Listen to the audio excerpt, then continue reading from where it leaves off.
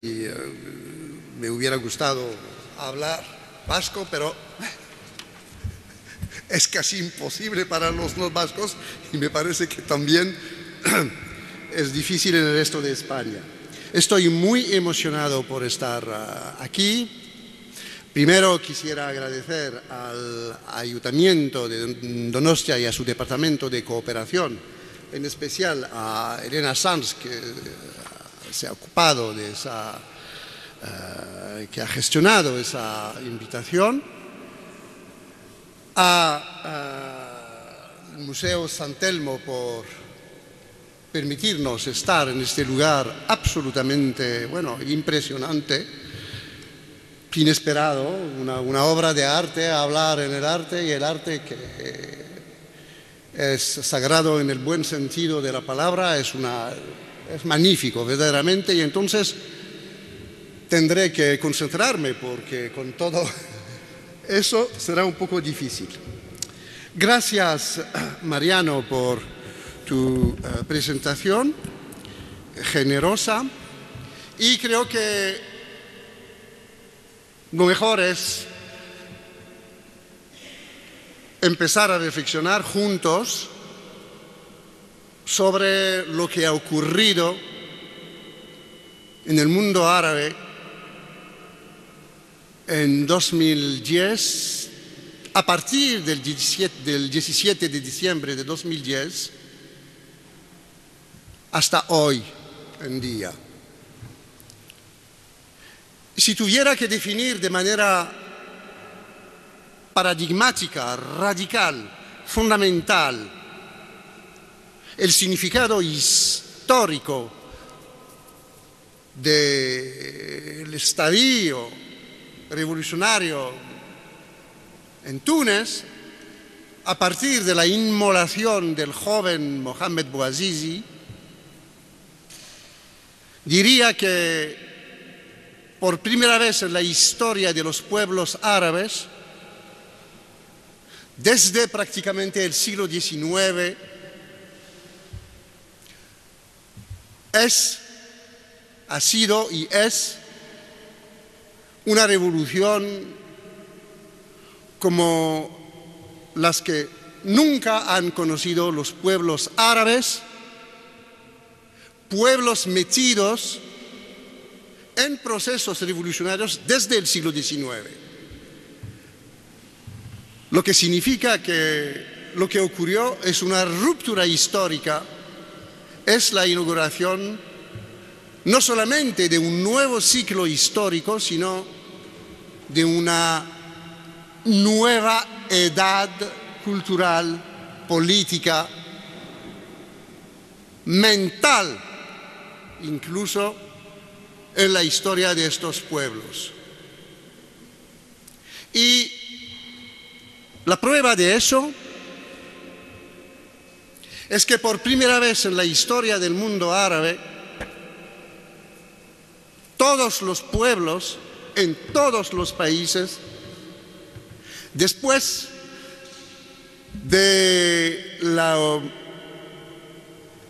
después de la huida del dictador tunecino, absolutamente todos, no hubo un solo país en el que no hubo un movimiento revolucionario, un movimiento de renovación de la sociedad. Lo que ocurrió en Túnez provocó un choque patológico en todo el mundo árabe, lo que significa que ese mundo tiene muchos rasgos en común, más allá de las diferencias nacionales, sociales, culturales. Tiene una identidad común y una situación compartida común. Y para entender precisamente lo que pasó, es importante definir de manera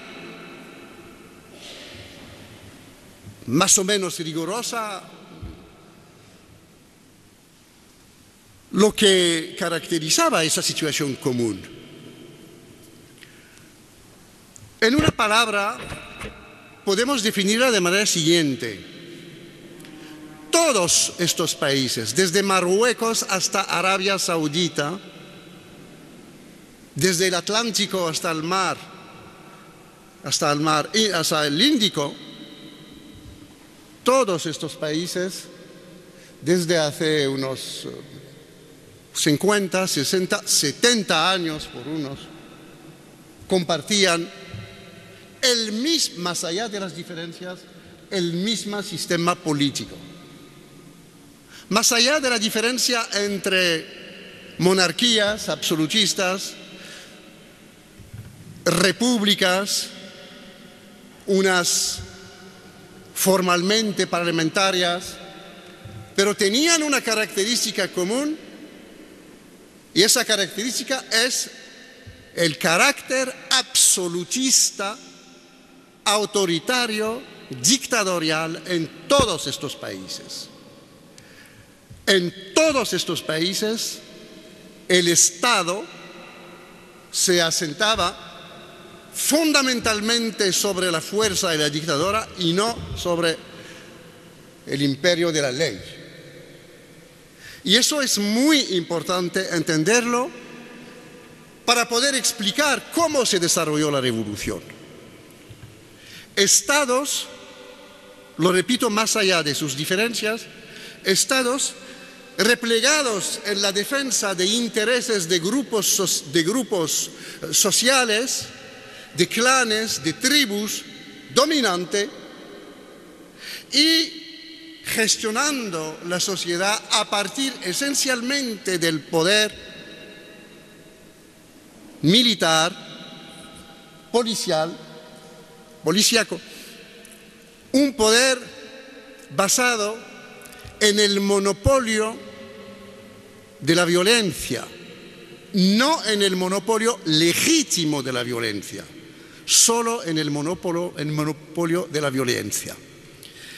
Eso es la característica fundamental, ha sido la característica de todos estos poderes. Y una segunda característica, más allá también de las contradicciones que podían, a veces o a menudo, oponer estos poderes en el sistema estatal mundial y sobre todo con los países occidentales, la segunda característica esencial es que estos poderes, todos sin excepción, tenían y tienen el apoyo por ser dictatoriales de las potencias occidentales o de las potencias de los países del este, Rusia, China. Había un consenso mundial estratégico, geopolítico, para considerar que estos estados absolutistas, dictatoriales, eran malos, por supuesto, pero un mal menor comparado a lo que podía ocurrir si se liberaba las sociedades, si se abría el cajón de las sociedades el paradigma de los países occidentales, pero también de Rusia, de China, es el mismo y siempre ha sido el mismo. El paradigma de la seguridad. Estos países, estos gobiernos autoritarios, para nosotros representan la estabilidad y la seguridad, porque el peligro para los países occidentales era precisamente la desestabilización, el desarrollo de los flujos migratorios y las experiencias democráticas. Y no es por casualidad, si hasta el último momento, tanto es la paradoja, tanto Rusia como los países occidentales, Estados Unidos, Francia, estados europeos apoyaron hasta el último momento estos gobiernos autoritarios. Mubarak en Egipto consiguió el apoyo hasta su último día y fue precisamente Obama que le dijo, terminado ahora. Y ocurrió lo mismo con Ben Ali. El mismo día en el que huyó los servicios franceses, el Estado francés proponía enviar armas para controlar la sociedad. Eso es muy importante entenderlo.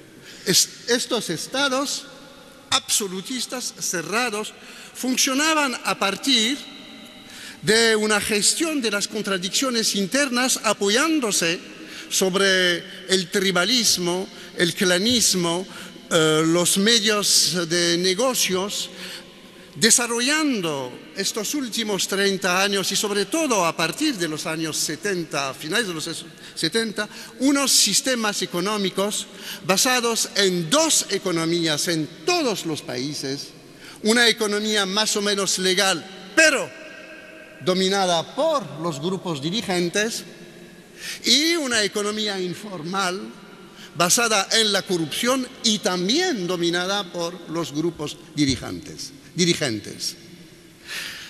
Un sistema dual y ese sistema dual dice mucho sobre lo que está pasando hoy y por qué tenemos precisamente después de la revolución democrática la victoria de fuerzas hasta ahora tapadas como los islamistas.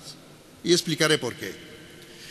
Sistemas absolutistas también que se caracterizaban, y eso es muy importante también, por su alejamiento de la sociedad, frente a la sociedad, sistemas que se construían, que se construyen en la oposición a la sociedad. De tal modo que hemos tenido estos últimos 30 años, a partir de los, de los años 80, en todos estos países dos pueblos, dos formas sociales, dos formaciones sociales. Por un lado, los estados cerrados, que se autorreproducían y que tenían una ideología de legitimación para ellos mismos, que hablaban de manera esquizofrénica frente a la sociedad, y por otro lado, una sociedad que vivía y que sigue viviendo en condiciones económicas y sociales muy difíciles, con un crecimiento demográfico estos últimos 40 eh, años muy importante, un proceso de recuperación demográfica en todos los países del tercer mundo y también afectó evidentemente estos países, con mercados de trabajos que no tenían y no tienen la capacidad de integrar precisamente estas nuevas poblaciones, pero la característica fundamental era que en realidad los estados habían abandonado las sociedades, dejando las sociedades solucionar sus propios problemas a través de todos los mecanismos posibles, incluso y por supuesto, sobre todo, a través de la corrupción. No es un concepto polémico el concepto de mafia para definir eh, el régimen de Ben Ali en Túnez. El régimen de Ben Ali en Túnez, tanto como el de Mubarak en Egipto o el de Assad ahora en eh, Siria son mafiosos en el sentido de que realmente se trata de un grupo mafiosi que domina el poder y considera que el país, que todo el país le pertenece.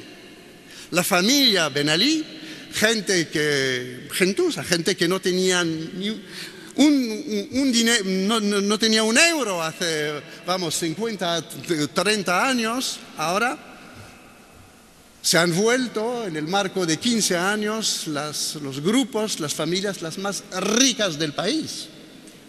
No se podía comprar una casa importante en la costa tunecina sin pagar a la familia.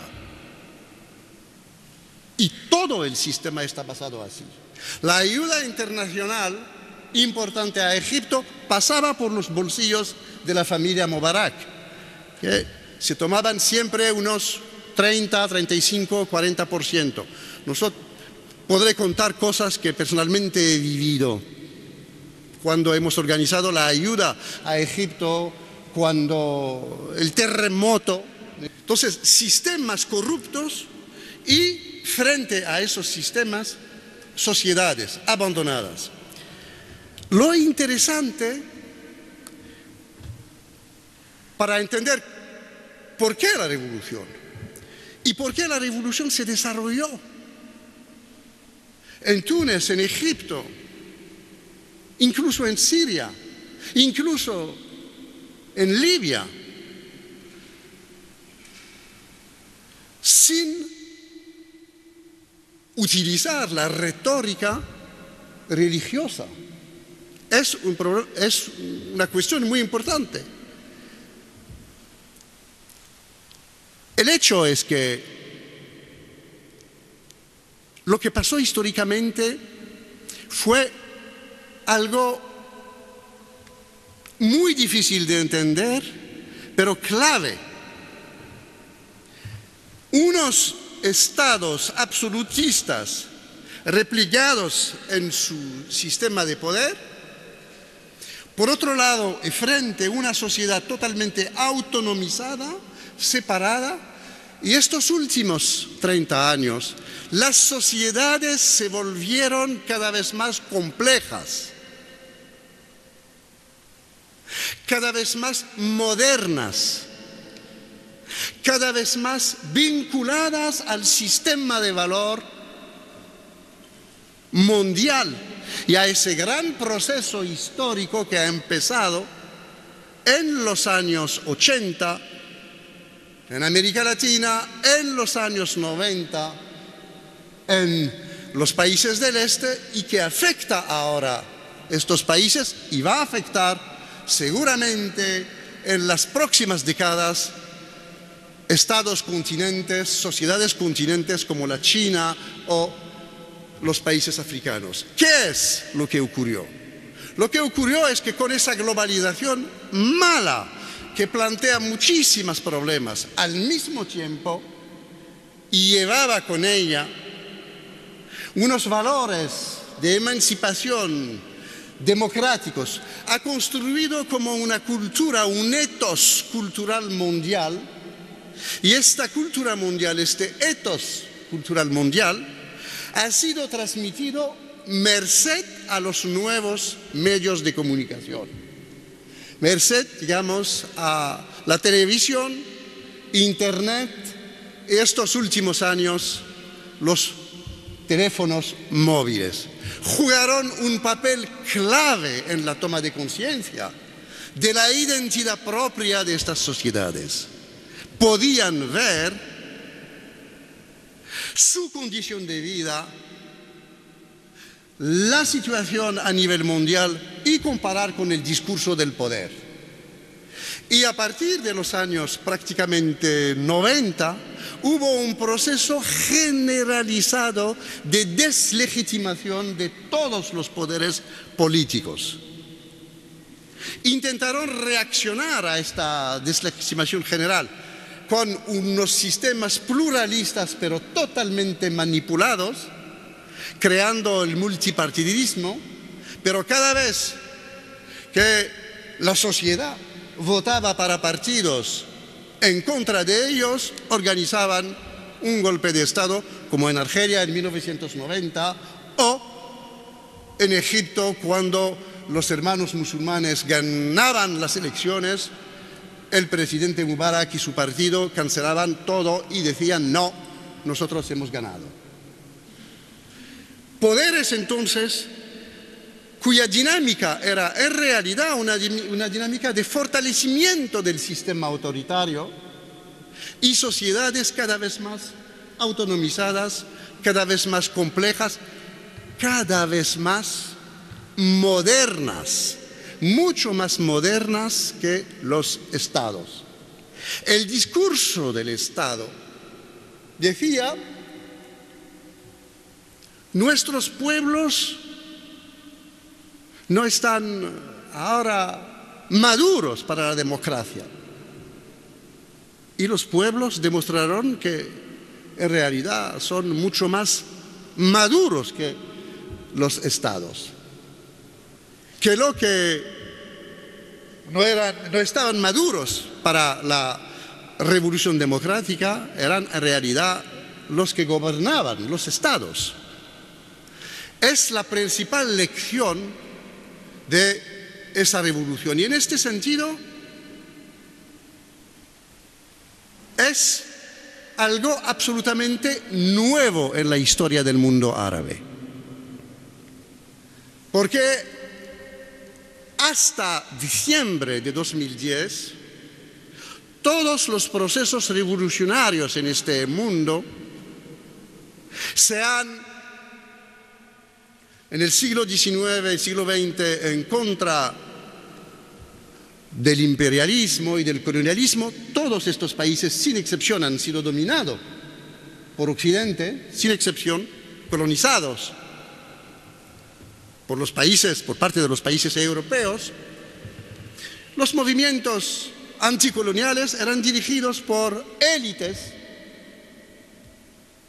a veces élites eh,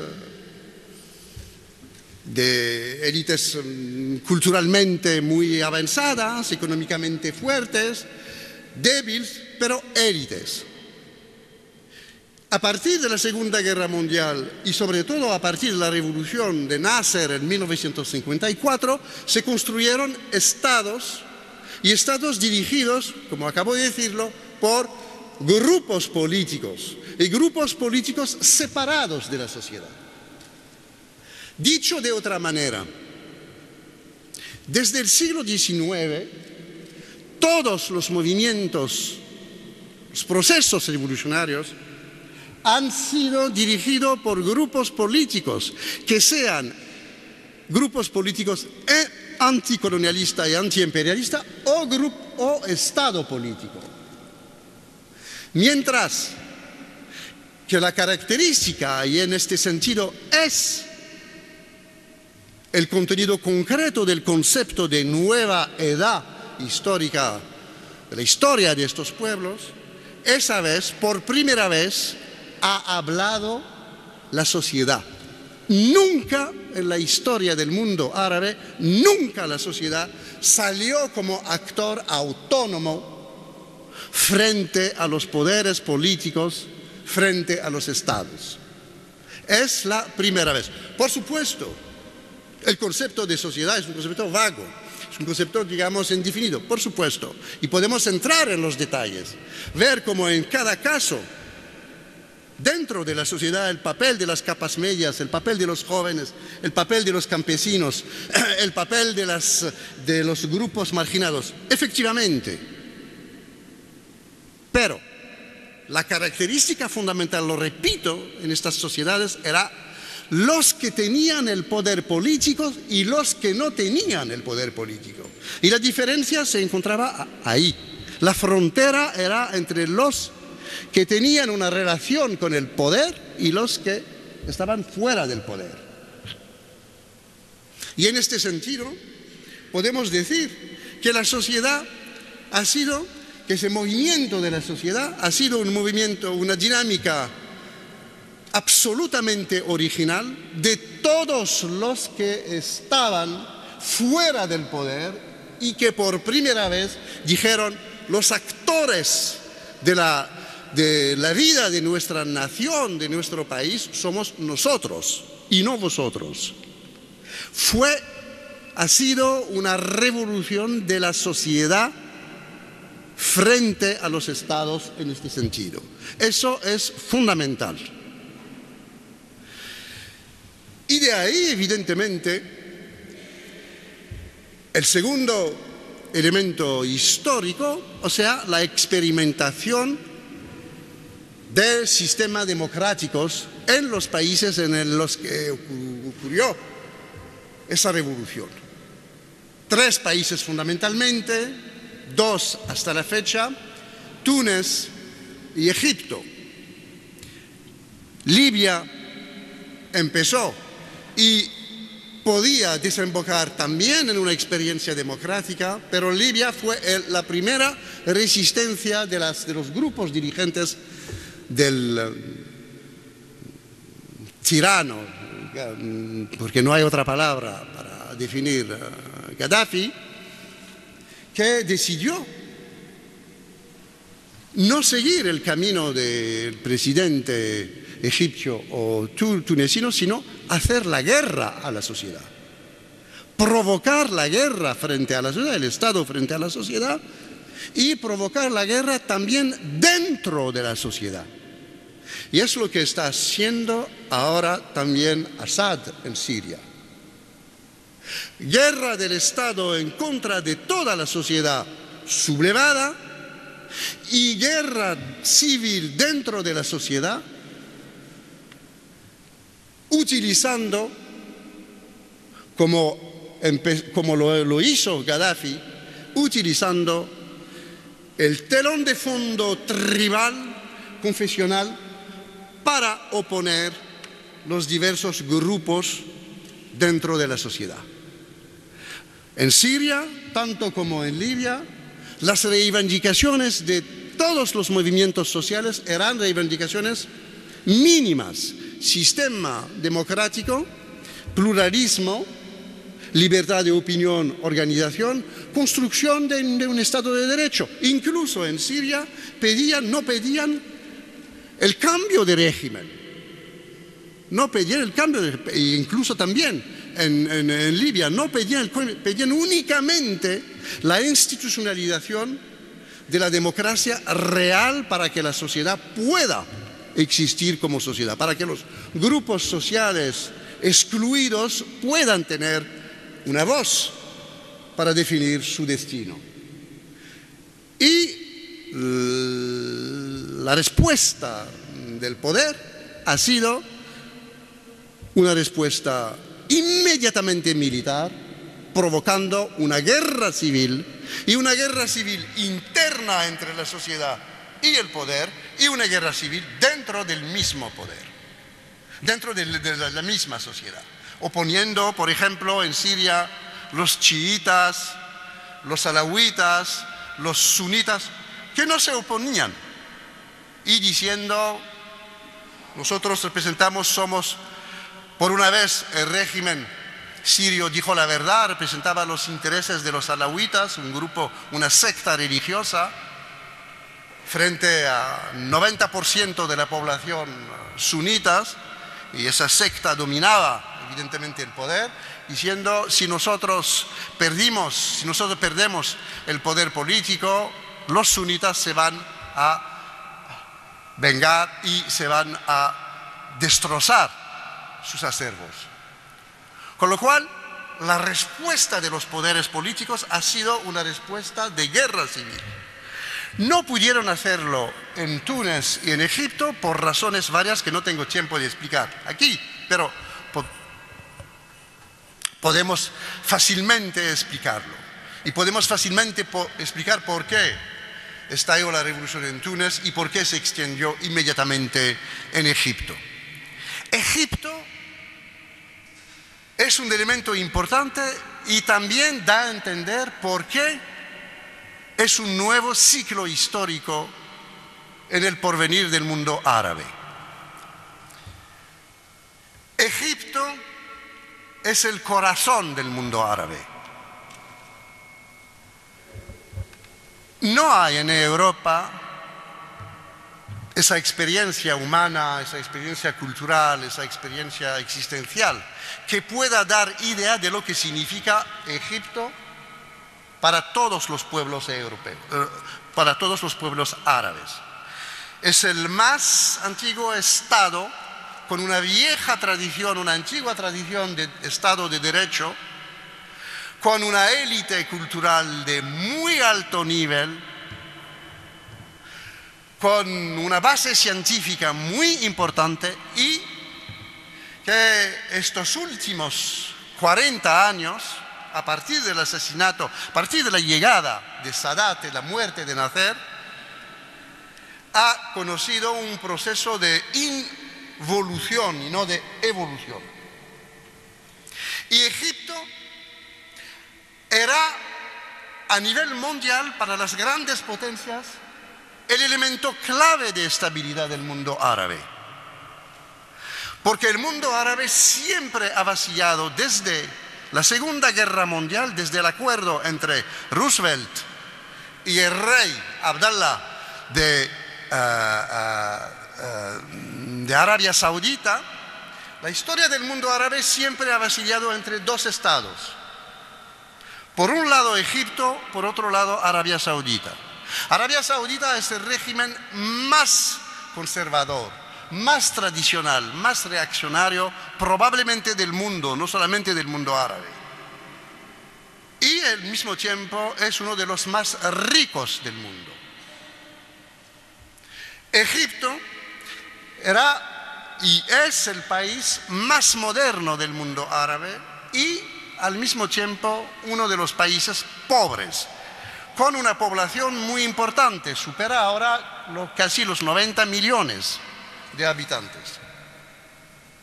Y la historia del mundo árabe ha sido siempre la siguiente, desde la siguiente, desde la Segunda Guerra Mundial. Cuando sube Egipto, baja el peso de Arabia, Saudita. Y cuando baja el peso de Egipto, sube el peso de Arabia Saudita. No es por casualidad si cuando Henry Kissinger decidió destrozar a Egipto, dijo claramente, el único país, podéis leerlo en sus memorias, el único país que cuenta para nosotros es Egipto. ¿Quién controla Egipto? Controla todo el mundo árabe. Y es verdad. Y el hecho de que la revolución se produjo en Egipto, incluso ahora con el papel de los hermanos musulmanes y de los militares, es un hecho histórico, porque significa que Egipto está de vuelta en el centro del mundo árabe. Y lo hemos podido hemos podido comprobar muy fácilmente estos últimos meses. ¿Cómo? Nadie podía encontrar una solución entre los eh, islamistas palestinos y los laicos palestinos de la OLP. El nuevo régimen convocó a los dos y les dijo inmediatamente y encontraron un acuerdo. Reabrieron la vía de ayuda a los palestinos que, era, que estaba, digamos, eh, bajo dominio en realidad de los israelíes, de los americanos y de la familia Mubarak. Y ahora, la última, hace dos, tres semanas, han empezado, incluso estos militares, han empezado a alejarse y a criticar a Arabia Saudita, porque saben perfectamente que su enemigo fundamental es Arabia Saudita. Y los estados europeos, tanto como los Estados Unidos, saben que su aliado fundamental es Arabia Saudita y los regímenes de la península arábiga. Por eso están apoyando a los movimientos ahora en Siria, sobre todo a los hermanos musulmanes, ellos mismos financiados por Arabia Saudita. Hay un gran juego estratégico mundial que se está desarrollando ahora. Pero una de las características más importantes es, más allá de los problemas políticos, esa revolución abrió una ventana, una ventana en la historia de ese mundo, haciendo que Egipto pueda volver, digamos, a ser un país con una historia y con una capacidad extraordinaria de proyección y diría una capacidad convocatoria en cuanto a las movilizaciones en el mundo árabe. Eso define este concepto de nueva edad. Ahora, el problema es doble. ¿Qué va a ocurrir en el futuro? Ese proceso democrático se va a desarrollar y, sobre todo, ¿qué contenido va a tener esa democracia? Nadie puede contestar ahora. Decir, el proceso se va a parar o va a continuar. Pero lo que sí se puede afirmar de manera muy tajante es que todas las sociedades se han movido desde hace un año y que todos los poderes están buscando medios para integrar la contestación, incluso en, en Arabia Saudita. Con lo cual, probablemente estamos experimentando un proceso revolucionario de largo plazo, un proceso revolucionario que va a durar mucho tiempo, que aflorará a la superficie de la sociedad y en alguna situación irá bajo el suelo para salir unos meses, unos años después. Pero el proceso parece irrepresible e incontrolable. Y todos los poderes lo saben. Eso se ve claramente en Marruecos, en Argelia, en Líbano, en Sudán, en todos los países árabes hay. Ahora una situación de movilización porque han descubierto, todas las, sociedades, los pueblos han descubierto una cosa muy sencilla, se puede cambiar esos regímenes, se puede instaurar la democracia. Las primeras manifestaciones en Egipto, antes de que caiga el eh, régimen, el régimen tunecino, la gente en Plaza Midan Tahrir, la plaza central del Cairo, decía, porque ellos y no nosotros. Y empezaron utilizando las banderas tunecinas. Y hemos visto en todos los pueblos, los países, desde Marruecos hasta Bahrein, estas banderas tunecinas, banderas egipcias, banderas libias. Un destino, una situación que hacía que todos se sienten concernados. En ese sentido creo que lo que ha ocurrido va a seguir. El problema ahora es saber cómo va a funcionar esa democracia. Y ahí hay muchas cuestiones, muchos interrogantes. La democracia no es un contenido, es una metodología de acción histórica.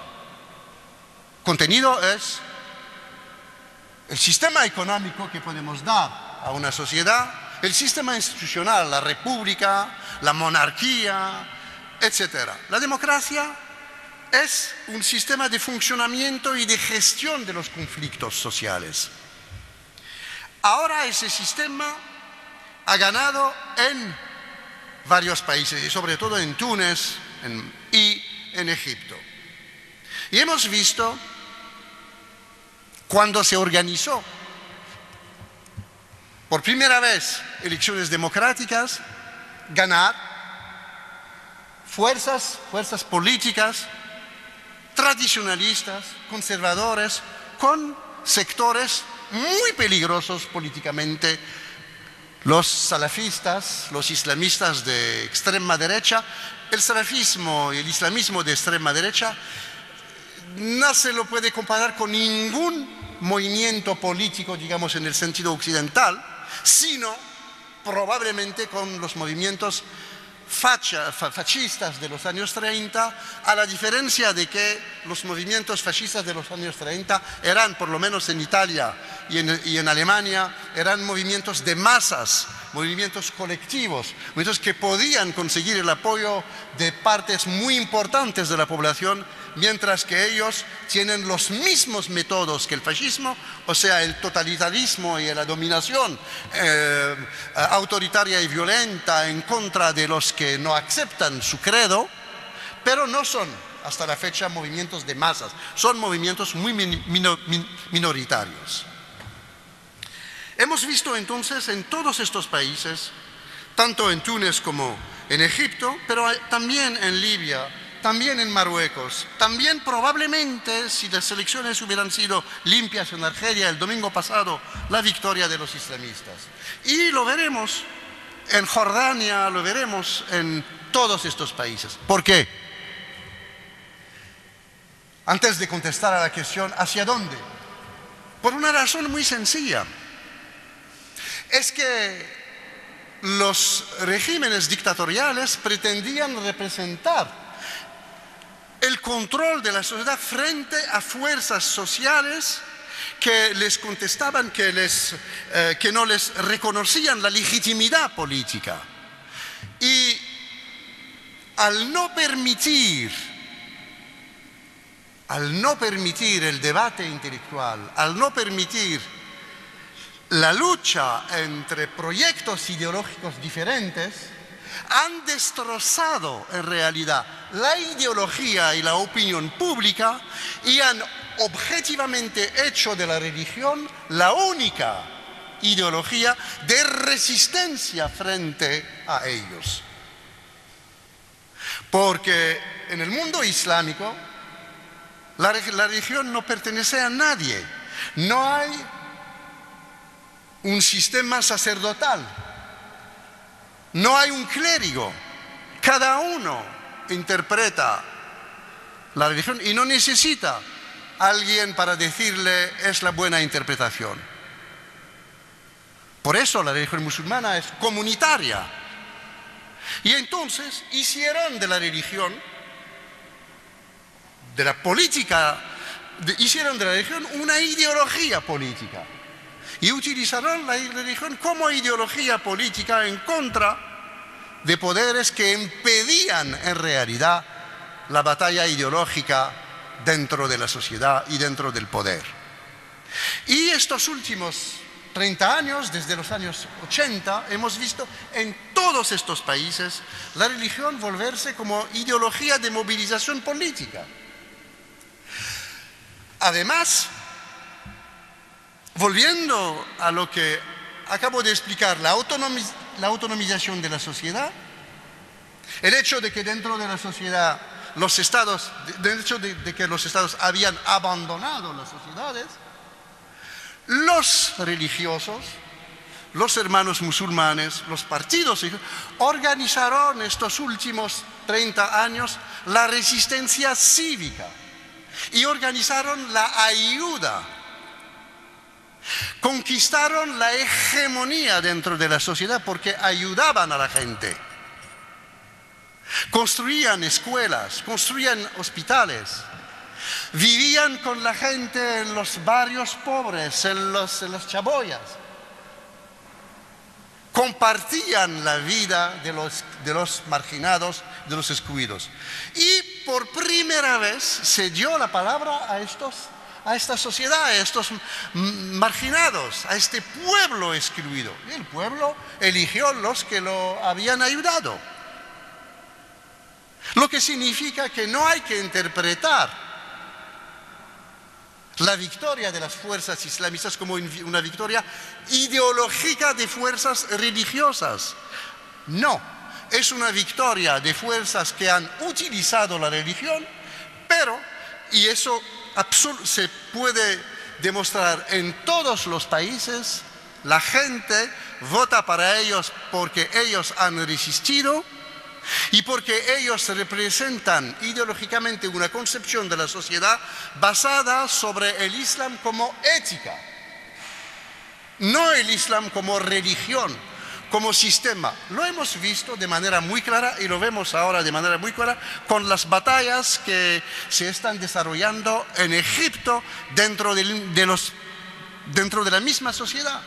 El hecho de que los islamistas quisieron, moderados, quisieron cambiar la constitución, quisieron introducir en la constitución normas religiosas hubo un enfrentamiento de, otra, de, la sociedad y la sociedad le impidió. Ocurrió lo mismo en Túnez. En Túnez, en, este periodo de transición, había un debate durante un año desde, desde la, constitución del, del, régimen de transición, del poder de transición, bajo el gobierno de Hanouchi, la discusión en la sociedad era el artículo 1 de la Constitución. El artículo 1 decía la religión, eh, Túnez es un país islámico y el artículo 8 decía, pero el Estado respecta las religiones, respecta y no quiere la utilización política, la, utilización de las religiones y de las etnias y del racismo. Y el Estado 1 el, artículo 1 nunca dice el Estado debe ser religioso. Y los islamistas tunecinos intentaron cambiar este artículo, tuvieron que abandonar la batalla hace unas tres semanas, porque se movilizó la sociedad. Y la sociedad dijo, no, el Estado debe ser neutral. Queremos un Estado de derecho neutral. O sea, es una toma de conciencia extraordinaria lo que está ocurriendo. Con amenazas, porque evidentemente nadie dice que la democracia, que con la victoria de los islamistas, ellos van a respetar todo. Probablemente van a intentar en todos los países de hacer prevalecer su concepción de la sociedad. Probablemente. Lo que significa que en todos estos países, los por lo menos que han hecho la revolución democrática, la batalla está abierta. Estamos en un momento indecidable, un momento, digamos, indeciso. Y puede ir por un lado, puede ir por otro lado. Pero lo que sí es cierto es que esta vez habrá que contar con la sociedad. Esta vez habrá que contar con un actor nuevo este actor, y termino con eso, se llama solamente el pueblo libre, el pueblo que quiere vivir dignamente, el pueblo que quiere vivir en un estado de derecho. Eso es el significado y al mismo tiempo el sentido, en mi opinión, del porvenir de esas revoluciones. Gracias.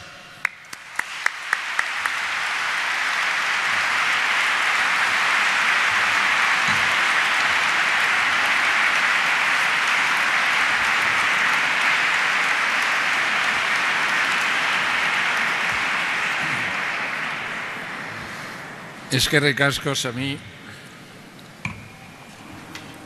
Bien, tenemos tiempo para seguir ahora ya conversando con Samí después de haberle escuchado. Ocurre que este escenario tiene tanto de magnífico y espectacular y bellísimo como de incomodísimo para dirigir un diálogo con ustedes porque sinceramente desde aquí no veo a nadie. Imagino que la sala está llena porque veo así una especie de sombras que hacen las cabezas, pero me resultaría imposible saber quién levanta el brazo pidiendo la palabra. Así que eso lo tendrá que hacer otros que nos tendrán que decir cuando hay gente que, pide la palabra. Eh, sepan ustedes que tenemos tiempo bastante generoso, ¿eh? casi una hora de tiempo si fuera menester, así que por ese lado no vamos a tener problema. La conferencia de Sami ha sido de muy amplio espectro, ha sido una visión general profunda, pero sobre todo extensa, y entonces eh, cabe hacer muchas preguntas, no tanto para cuestionar lo que ha dicho, sino para tener la oportunidad de saber más sobre los diferentes aspectos que ha tocado. A la espera de que ustedes puedan pedir la palabra, yo me voy a permitir iniciar un pequeño diálogo con él sobre un par de cosas en principio, ya que nos ha pintado un panorama en el que, digamos, la situación de los países árabes, aparte de todo lo que la historia ha acarreado, obedecía una estrategia de dominio occidental sobre el mundo árabe, es decir, alimentar unos regímenes poderosos y corruptos que a la vez mantuvieran quieta a la población de manera que las ambiciones imperialistas occidentales pudieran reinar. Bueno, además de poder se le supone también inteligencia a estos países y en consecuencia cabría esperar que hubieran estado más alertas o conocedores de lo que estaba bullendo en el mundo árabe. Pero a la vista de su reacción, tendríamos que decir que les ha cogido como de improviso, que, no se lo esperaban. Pero no solo eso, que tampoco tenían lo que aquí solemos llamar un plan B, diciendo, si ocurriera, lo que hay que hacer es esto. Eh, da la impresión de que han ido como especulando o, o jugando a ver quién ganaba o quién perdía. Para, en fin, pregunto, eh, esta impresión de sorpresa, no ya para nosotros, sino para los líderes guías del mundo, ¿la comparte usted? Y, le preguntaría cómo es posible. Mira, gracias por esa pregunta porque me permite evidentemente entrar en los detalles. Es un, una pregunta interesante. Fue una sorpresa para todo el mundo y una sorpresa también para los pueblos árabes y para las sociedades árabes. Y es muy interesante saber por qué fue una sorpresa. Y eso permite entender también la reacción de los estados uh, occidentales. Pero fue una sorpresa mundial, en realidad. ¿Por qué? En realidad, porque en lo imaginario, el mundo de las representaciones culturales, había como una mancha negra sobre el conjunto de los estados árabes, el conjunto de los pueblos árabes. La ecuación conceptual que existía era estados violentos, dictatoriales, pueblos sometidos, pero violentos y adictos, no hay otra palabra, a una concepción totalitaria de la religión. Uno justificando el otro. Los propios dirigentes de los países árabes vendían, no hay otra palabra, esa imagen de sus pueblos. Diciendo, no hay que liberar, no entienden nada a la democracia. Permitir la existencia de sistemas democráticos es muy peligroso, porque pueden destrozar todo. Si uno añade a eso los prejuicios tradicionales sobre el Islam, prejuicios occidentales sobre el Islam, y más allá de los prejuicios, los intereses económicos y estratégicos, geopolíticos del mundo occidental, pero no solamente del mundo occidental, también de Rusia y de China, porque hay que integrarlos en el mismo bando. Tienen los mismos intereses, sus intereses, pero los mismos, y tienen la misma visión que los países occidentales. Todo hacía que la solución, la más factible y la más... Uh, Uh, la menos peligrosa era mantener ese mundo en su situación, porque todo el mundo era convencido de que no podían acceder a la democracia y que la democracia no era una reivindicación de estos pueblos. Y cuando ocurrió la revolución, todo el mundo ha sido sorprendido. Y los interrogantes, ah, quieren la democracia. En la primavera árabe, ¿qué es una primavera? Un nacimiento, un renacimiento. Ellos también quieren la democracia. Efectivamente, hoy en Túnez hay mucho más democracia que en, en España, mucho más. En Egipto también. Nadie pensaba que estos países podían, digamos, plantear el problema de la democracia. Diría más. Conozco y participé, en, lo siento, hablo de una experiencia personal, participé en un grupo de altos funcionarios en el Ministerio de Asuntos Exteriores franceses a una reunión, digamos, con el ministro, que quería saber un poco cómo reaccionar, porque evidentemente, y decían, bueno, mira, las elecciones han permitido a los islamistas ganar, lo que significa que en realidad no querían la democracia. No han entendido que la victoria de los islamistas era una victoria democrática, no una victoria totalitaria, no por violencia, sino porque habían consultado a la gente. Entonces, es muy interesante saber, digamos, ver que en realidad la dimensión, y lo creo verdaderamente, ¿eh? lo creo, Mariano, en el sentido de que creo que la dimensión cultural, la dimensión, la dimensión cultural y conceptual, ha tenido un papel fundamental en, digamos, esa, la ceguera, en esta ceguera, digamos, de los países occidentales y de todos frente a la realidad de, de estos pueblos. ¿Y eso por qué? Porque no han entendido ni el carácter de lo que llamo yo en este libro, La lección tunecinas, la mundialidad, el hecho de que vivimos una época histórica en la que los valores democráticos son, se han hecho hoy en todo el mundo, en todo el mundo, absolutamente irrepresibles. Es un movimiento que nadie podrá tanto como el movimiento de equiparación de los géneros, de reconocimientos de la diferencia eh, sexual, de la diferencia, digamos, individual, son elementos de fondo de la historia del mundo. Podemos ir en contra, en realidad no podremos parar a estos movimientos. Y el proceso democrático no han entendido que incluso estas sociedades habían integrado.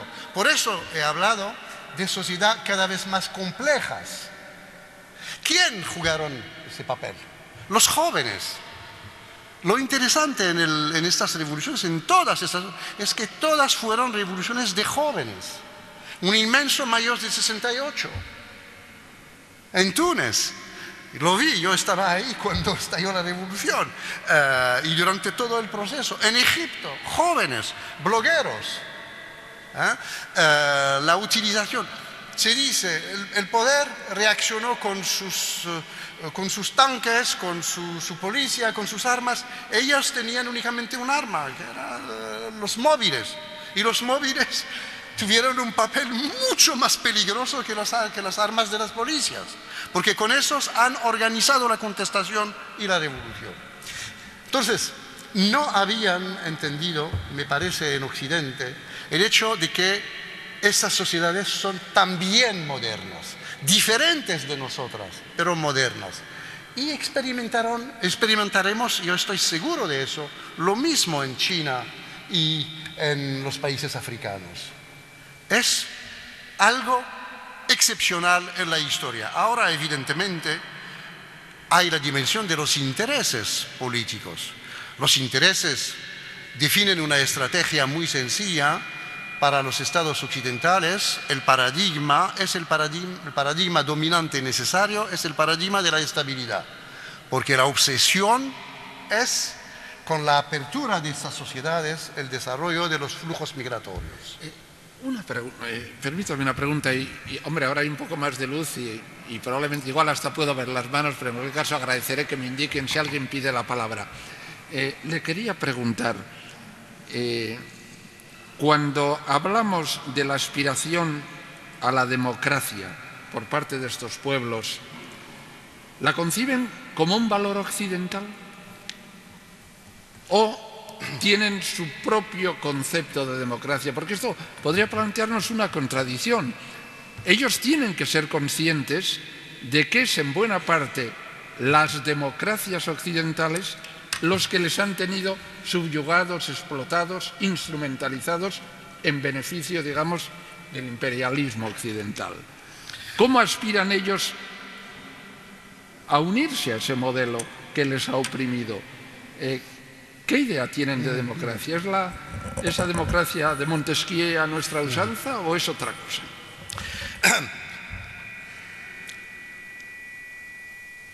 El concepto de democracia tiene que ser definido para, digamos, saber si estamos hablando de la misma cosa. Lo repito, la democracia no es un contenido, es una metodología de acción histórica. Vivimos tú y yo en un sistema democrático, pero tenemos intereses diferentes. Yo lucho por los míos y tú luchas por los tuyos, con tus grupos, yo conmigo. Y podemos, digamos, enfrentarnos. Pero hay una característica común que define tu posición y la mía. Es la aceptación del principio de mayoría. Lo que los griegos, Pericles, llamaba el milagro democrático. ¿Qué es el milagro democrático?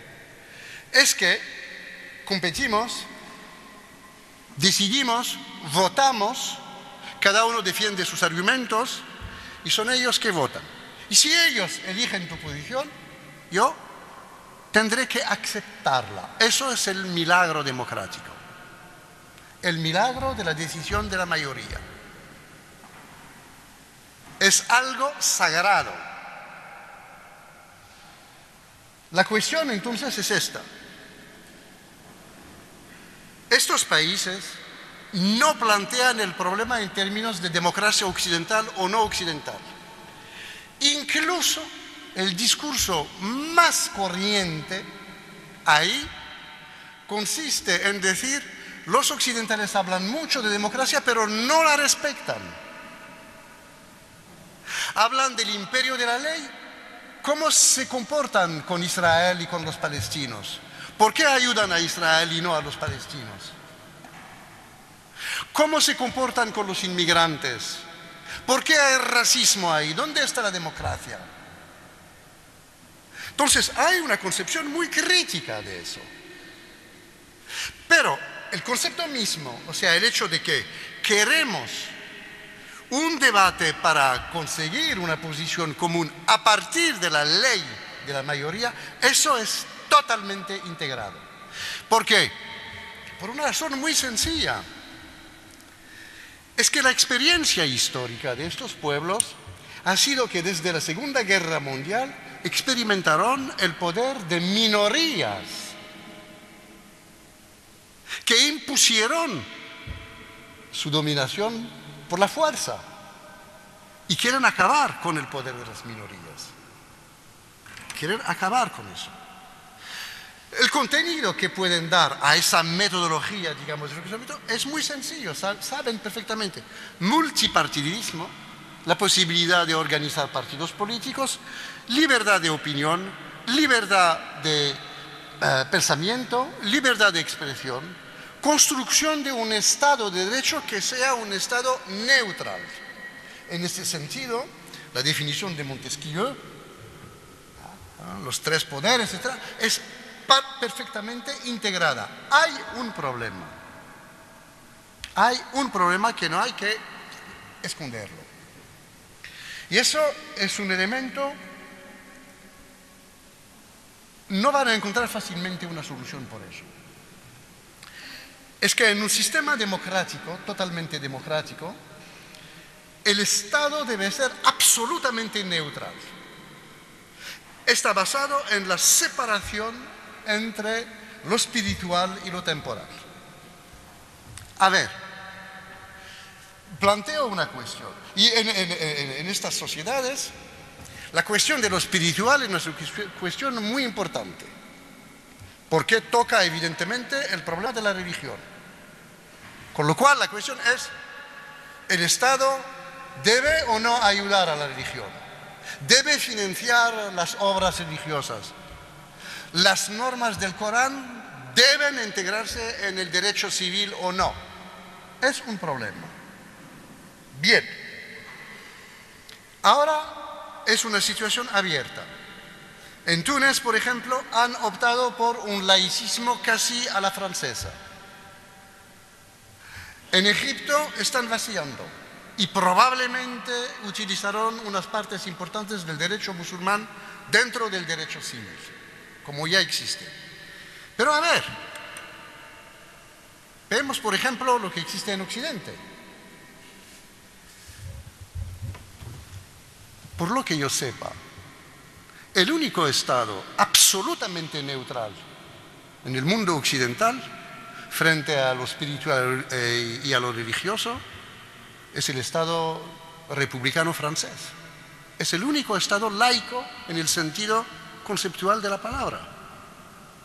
Yo me crié, como lo has recordado, en el este de Francia, en Belfort. Nunca me hablaron de Dios en la escuela. Nunca vi una cruz en la escuela. Si quería, y me eduqué religiosamente, si quería conocer la religión, teníamos el jueves, podemos ir a la iglesia a hablar. Pero nunca me hablaron hasta prácticamente el bachillerato, digamos, de religión. Y cuando se hablaba de la religión, era, digamos, utilizarla como una ideología. Hay unos creyentes, otros, porque la escuela era el lugar de la razón, no de las creencias. Entonces, aquí en España el Estado no es un Estado laico. Es un Estado y eh, el Estado paga las iglesias aquí. Algo inconcebible en Francia. Italia lo mismo. Alemania lo mismo. O sea, esta, esta separación, diría, es una separación muy problemática. Si quiero entrar en los detalles, te diría más, incluso el Estado francés ha hecho en 1908, después de la ley de 1905, la separación de la religión con el Estado integral, incluso el Estado francés ha hecho concesiones. Concesión, por ejemplo, el Estado francés respecta a las reglas religiosas de las fiestas. Nosotros tenemos la fiesta de la Ascensión, ¿eh? la gente no trabaja en la fiesta de la Ascensión. Aquí en España no existe porque no es un Estado laico. Eh, eh, los, los, nombres, bueno, hasta hace unos años en Francia se podía elegir nombres únicamente en, el calendario eh, religioso.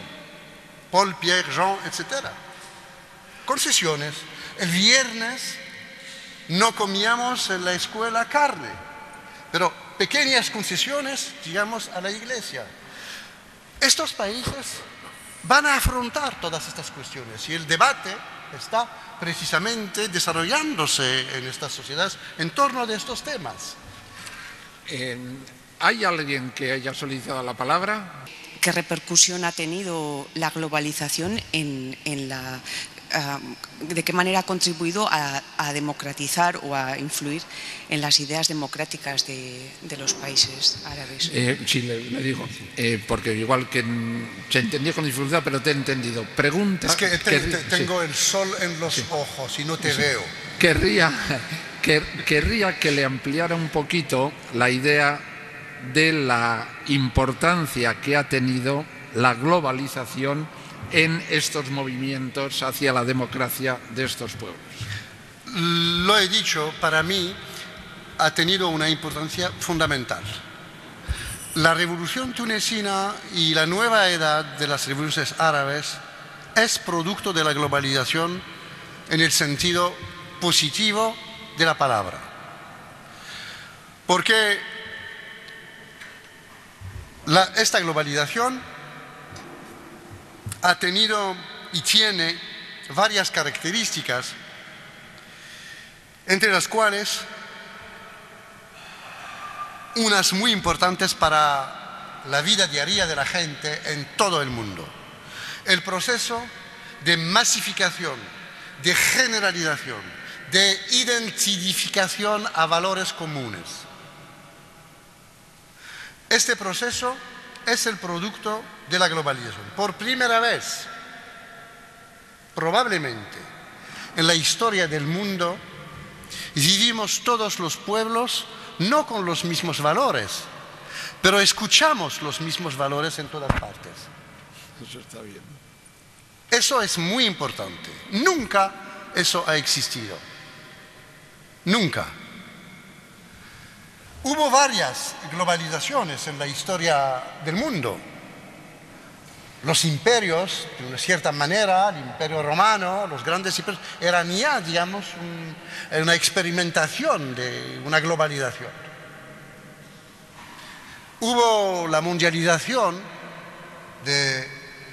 del siglo XVI a través, digamos, de la extensión del sistema mercantil y de la agricultura mundial hubo la globalización generada por la industrialización del siglo XIX.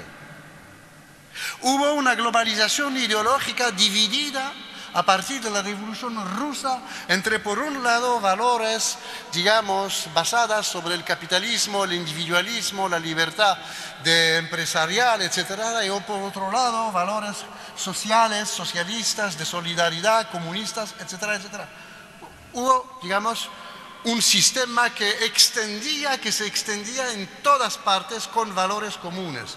Y teníamos los ecos de lo que ocurría. En Rusia teníamos estos ecos en, América Latina, en España, en Francia, en todas partes. El mundo vivía ya junto. Pero el mundo no experimentaba el mismo sistema económico. Eso es la diferencia radical, el elemento nuevo es que ahora en todo el mundo, en todo el planeta, experimentamos el mismo sistema económico. Y la alternativa a ese sistema todavía no la hemos encontrado. Sabemos que el sistema económico es destructor, crea riquezas muy importantes, pero al mismo tiempo destroza mucho y lo pagamos muy caro. Lo que está ocurriendo ahora en Europa lo demuestra claramente. Sabemos que este sistema plantea problemas, pero está extendido a nivel planetario. Y estas sociedades árabes también entraron en el sistema globalizado.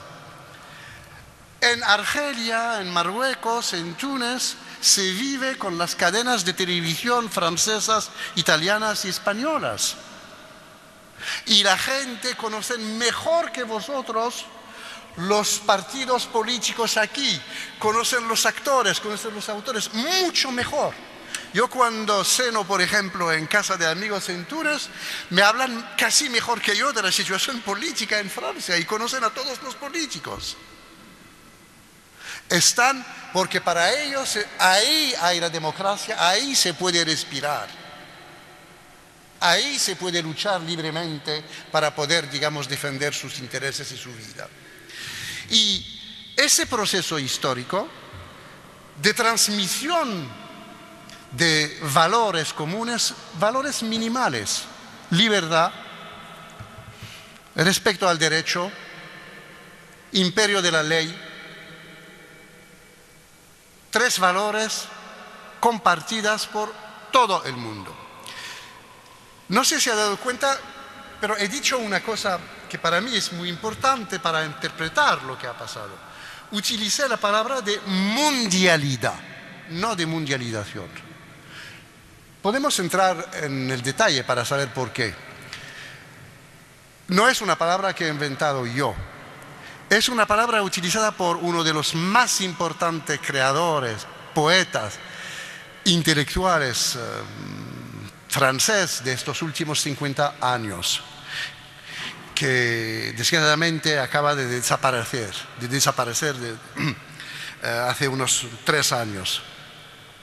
Edouard Glissant. Edouard Glissant es un escritor, un inmenso escritor, ha escrito un libro muy conocido que se llama Todo el mundo, todo mundo, todo mundo. Es un escritor caribeño de las Antillas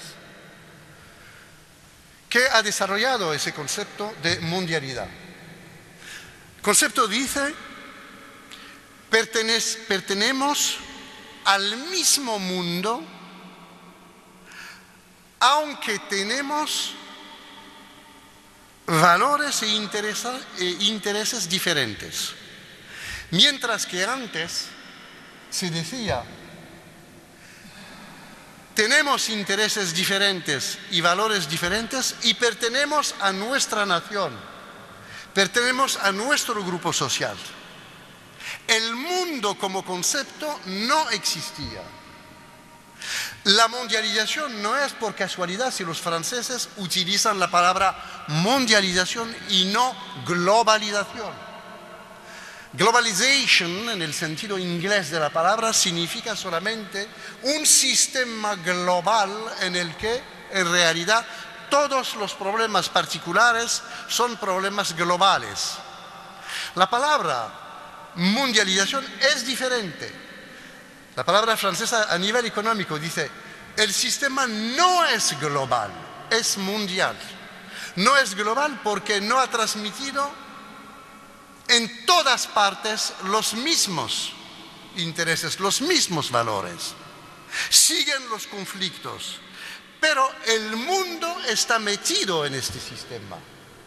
Y lo que ha aportado Edouard Glissant era precisamente esa idea de que hay una mundialidad, una tendencia de cada uno en considerar que sobre valores fundamentales de base hay un acuerdo ahora histórico, casi antropológico a escala planetaria. Basta con visitar los países africanos, subsaharianos, comparten los mismos valores, quieren un Estado de Derecho, quieren un Estado basado eh, sobre el imperio de la ley, quieren un Estado en el que la libertad de expresión de organización pueda existir. Esos valores minimales, minimales entre comillas, son muy importantes, definen ese proceso. Y en este sentido creo que eso es algo que ha permitido la que ha permitido la movilización en estos países. Fueron los jóvenes que fueron, digamos, la punta de lanza de este movimiento porque precisamente esos jóvenes están a través de los nuevos medios de comunicaciones en contacto con el resto del mundo. Sami, eh, tengo verdadera curiosidad para hacerle una pregunta en torno a lo que, bueno, de la misma manera que cuando hubo la reforma del protestantismo surgió la contrarreforma, me imagino que puesto que la situación del mundo árabe, digamos, obedecía a una estrategia del imperialismo occidental, cabe esperar que estén reaccionando, que estén actuando para que esa situación que se ha visto alterada respecto de lo que querían vuelva de otra manera, pero a lo mismo. Es decir, si ocurriera ahora hubiera habido la reacción a Libia que hubo cuando ocurrió? ¿O hubieran dejado como en Siria? Podemos pensar que si Egipto es lo que es históricamente en el mundo árabe, y teniendo en cuenta, como usted ha dicho muy bien, que la importancia de Egipto implica el final de la hegemonía de Arabia Saudí, que van a permitir, o sea, y si no lo van a... O sea, estamos viendo de alguna manera los hilos que están neutralizando toda esa fuerza, eh, digamos, modernizadora, democrática de lo que nos ha hablado. Mm, te agradezco por haber planteado este problema, lo digo muy sinceramente porque me permite, no he tenido tiempo para hacerlo, para desarrollarlo, tocar otro tema yo diría que estoy de acuerdo contigo y al mismo tiempo me parece que la situación ahora es diferente. El problema de la dominación de Occidente y el problema de la dominación imperialista y colonial es un problema desde la conciencia, desde la sociedad, que ha cambiado de papel. Antes se podía movilizar a la gente diciendo, si la situación va mal aquí, los gobiernos lo han hecho, es porque nos dominan los occidentales, los americanos, los israelíes, los europeos, etc. La culpa era siempre de los otros, no de nosotros. La revolución mental que ocurrió es la siguiente ahora. Ese discurso ha fallado. Nadie cree en estos países que la culpa la tienen los occidentales, que la culpa la tiene el imperialismo o el colonialismo. Todo el mundo dice, vosotros sois peor. Vosotros en este caso es la, clase dominante. Los, los poderes, los estados absolutistas, peores. Y basta con visitar a estos países para darse cuenta que efectivamente son peores. La diferencia salarial, que es muy importante aquí en Europa, es de uno casi, no hablo de los altos uh, sueldos, pero los sueldos medios, es de 1 a 8, 10. En estos países es de 1 a 60, 100. Las capas dirigentes son capas uh, de, de predadores. Viven según el modelo de la aristocracia de la Edad Media con una riqueza, con una acumulación de las riquezas impensable, absolutamente impensable en nuestras sociedades. Yo vi en Egipto, lo cuento en, un libro que he escrito en los años 80 eh, sobre el Cairo.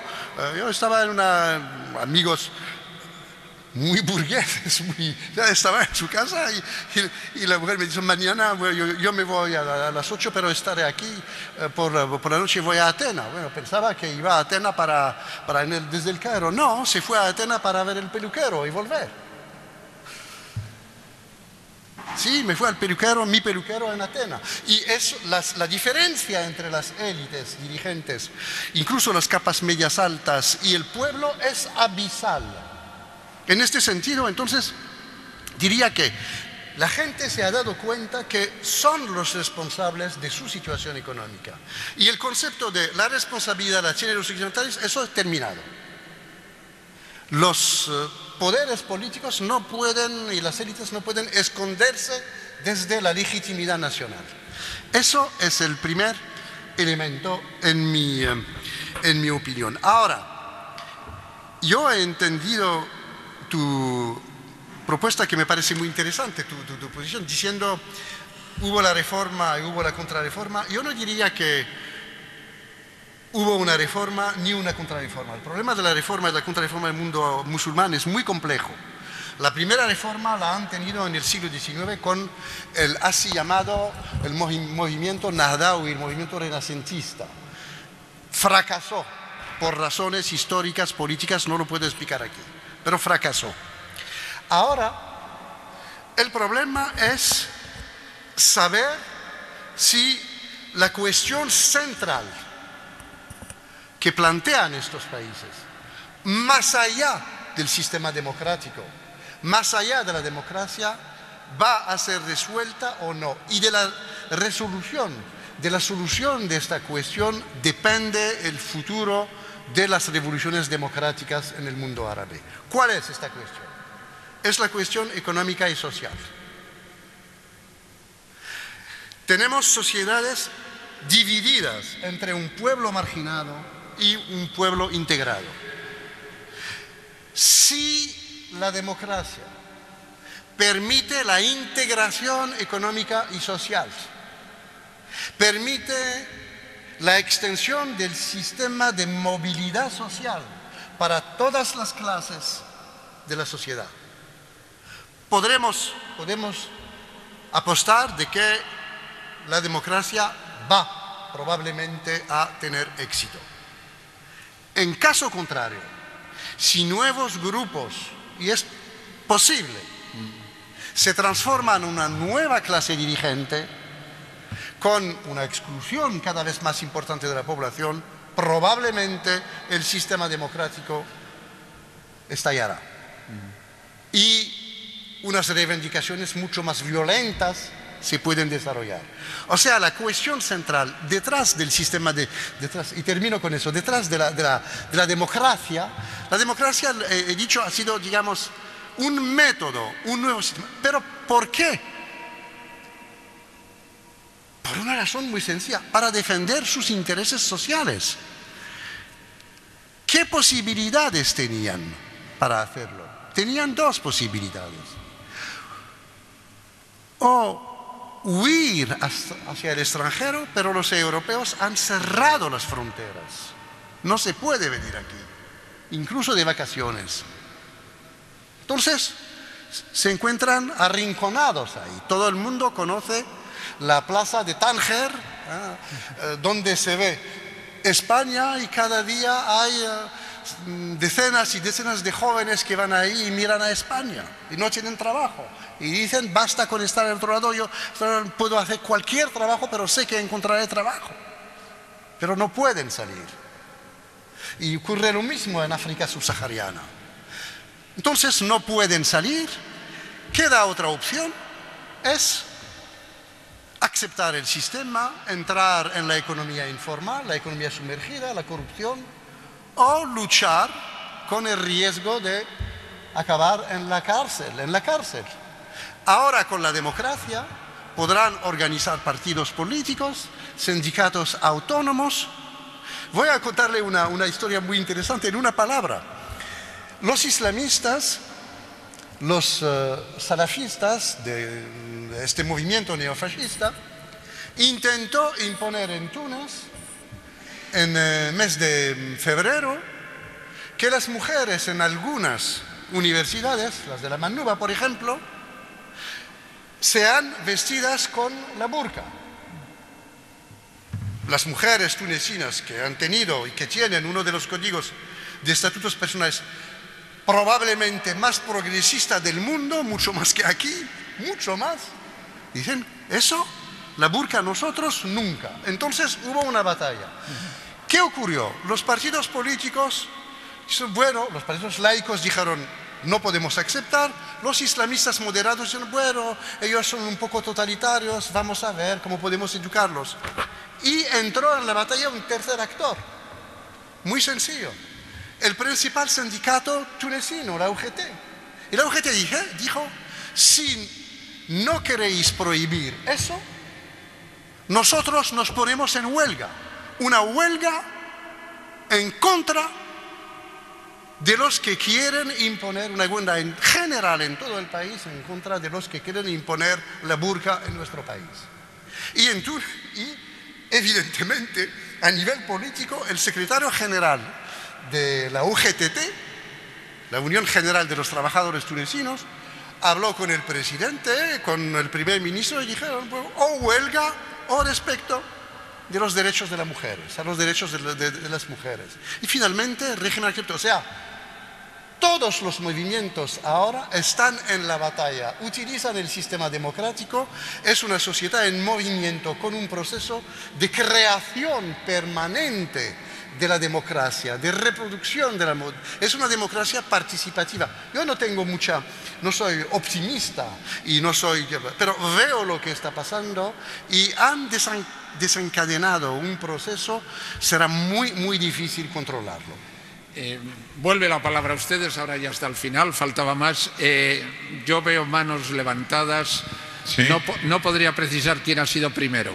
En el caso de que hubiese sido geopolítica, me parece extraordinario y, muy positivo seguramente que se pueda hablar con la propiedad con la que ha hablado y donde nos ha dicho cosas muy optimistas sin pronunciar dos palabras, que son petróleo e Israel. ¿Se puede hablar del cercano oriente sin pronunciar esas dos? Está la pregunta, ¿verdad? Le digo, iba a decir la traduzco. Lo siento. La, la repito porque comprendo que, el, que tenga dificultad para entenderlo. Dice que agradece la exposición, pero que eh, esperaba más una exposición geopolítica que rusoniana, al estilo del contrato social, porque de haber sido una exposición geopolítica debieran haber aparecido dos palabras que no han aparecido y que sin ellas no hay quien pueda entender la geopolítica del asunto. Petróleo e Israel. ¿He entendido bien? Bueno, supongo. Bien, ¿es la última pregunta? La última pregunta esta. No, bien. No, no, no, espero que haya más.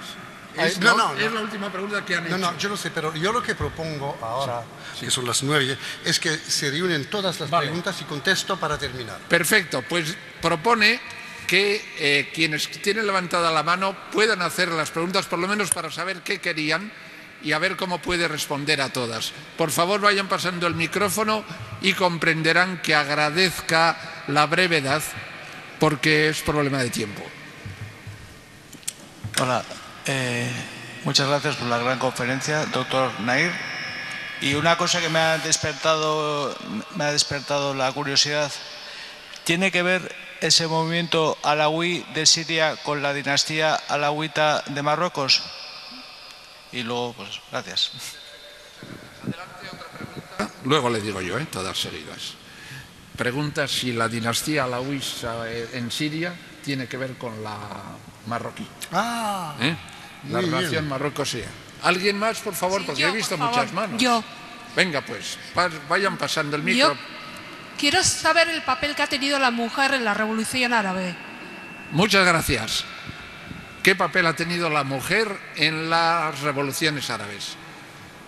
Por favor, no esté en mi mano. Buenas tardes, doctor Samir. La pregunta es parecida un poco a la situación geopolítica y es si, si tal como ha dicho Samir, se oye muy mal. Se oye muy mal, Tal- pero si lo entiendo yo ya procuraré repetirlo, por favor. tal como mencionó el, eh, el doctor Samir, que si Estados Unidos para dominar Oriente Medio tuvieron que dominar Egipto en los años 70 a través de los acuerdos de Camp David. Actualmente el cambio eh, en Egipto, eh, si este cambio será real y, eh, llegar, y llegara a tocar los acuerdos de Camp David con Israel. ¿Cuál es la posición real de los Estados Unidos y de Europa en eh, el proceso de cambio eh, en Egipto y en el resto de la zona? Gracias. ¿Cuál es el papel real de Estados Unidos y de Europa en este proceso de cambio y si cree que llegarán a influir en el, en el implemento o cambio de los acuerdos de Camp David? Por favor. Sí, bueno, muchas gracias, eh, doctor Nair. Yo quería preguntarle una cosa, es referente a que tuvimos hace un par de meses con nosotros a la señora Nadia Elfani. Entonces, usted ha dicho que en Túnez hay hoy en día más democracia que aquí, vamos a decir que en España, ¿no? Sin embargo, usted sabe que esta señora, por el hecho de haberse declarado atea en su documental, eh, pues está, con- está amenazada de muerte y no puede volver a Túnez por el hecho de ser ateo. Y lo que me consta por otros compañeros, yo pertenezco a una minoría religiosa y mis correligionarios actualmente en Túnez están en una situación de mayor peligro que anteriormente.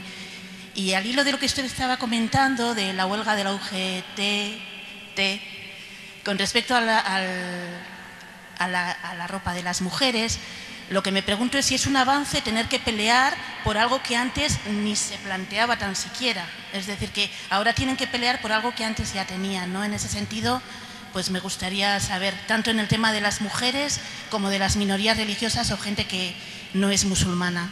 Perfecto. ¿Ha entendido? Le digo, mire, dice que ha hablado muy positivamente de la democracia en Argel, pero que estos días está aquí, me parece que es una cineasta, autora, una documentalista, de nombre Nadia, el apellido no lo he podido coger, que se ha visto perseguida y con dificultades para exponer su obra. Eso por un lado. Por otro, ha hablado del episodio, la anécdota del burka, pero ella se pregunta, quien, quien hace la intervención, si realmente es un avance que hay ahora que pelearse por algo que antes ya estaba conseguido.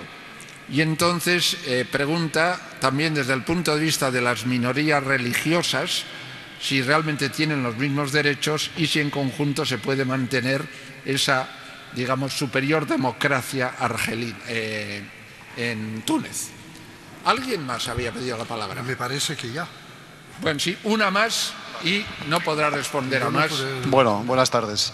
¿Le Bueno, sirve para descansar un poco, que ha tenido que hacer mucho esfuerzo usted? Dígame. a ver, agradecerte por alguna de las claves que has puesto eh, para todos, has expuesto para todos nosotros. Eh, yo creo que a mí me gustaría plantear un tema que hasta qué punto no hay una visión occidental que queremos hacer tabla rasa de todo. Es decir, cuando hablamos de las revoluciones eh, de primavera en los países árabes, claro, más o menos toda la terminología, todas las exposiciones que has hecho, desde el punto de vista de ubicarlo en, en Túnez, a mí me cuadra. Mirando a Egipto, pues también parece que va por la misma vía. Pero si empiezo a mirar a Libia, yo creo que hay otra serie de claves, alguna ya se ha apuntado aquí, la palabra petróleo, pero yo apuntaría incluso a otras cosas más. Es decir, es curioso mm, que el Banco Central africano tenía sede en Libia, el Banco Central africano, contrariamente al, Fondo Monetario Internacional o al Banco Mundial, no cobraba intereses de los préstamos que hacía los países. Eh, ¿Hasta qué punto este tipo de claves o incluso la misma intervención militar de la OTAN en Libia no supone una guerra imperialista de otro estilo y encima sin siquiera poner soldados, vamos a decir, en el terreno. ¿no? Yo creo que es eh, esas formas de actuar de Occidente, cambiando las formas, porque claro, todavía no, se nos ha quitado la imagen de Irak, que ha supuesto la intervención en Irak, ¿eh? o no hablemos ya de Afganistán, pero solamente un pequeño apunte sobre Siria. Es decir, aquí en los medios de comunicación nos asoman dos, dos cuestiones, ¿no? Está el régimen genocida, no sé cuántos, de del gobierno actual y aparentemente hay una oposición armada que ha habido ahí, pero resulta que la oposición que ha existido al régimen no es ni siquiera mentada en los medios de comunicación, está absolutamente arrinconada por parte de todos. Es decir, ¿y hasta qué punto eh, esa oposición al propio régimen no tiene la propia misma cara y no una revolución democrática eh, en sus eh, bueno en lo que quiere conseguir. Hasta ahí, sí. Gracias de todas formas. Voy a simplificar la pregunta.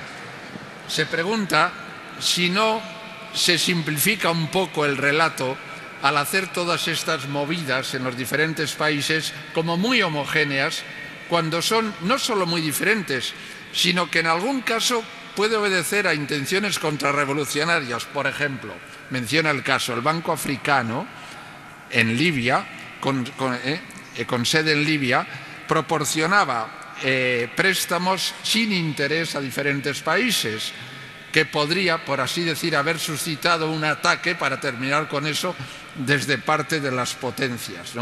Y luego ha mencionado otros ejemplos, pero básicamente el núcleo de su pregunta es si no hay especificidades tan importantes en los diferentes movimientos que unificarlos en una explicación general es falsearlo. Y ya me perdonarán que no tenemos tiempo para más preguntas, no sé si él tendrá tiempo para responder. Eh, Mariano, ¿cuánto tiempo tengo?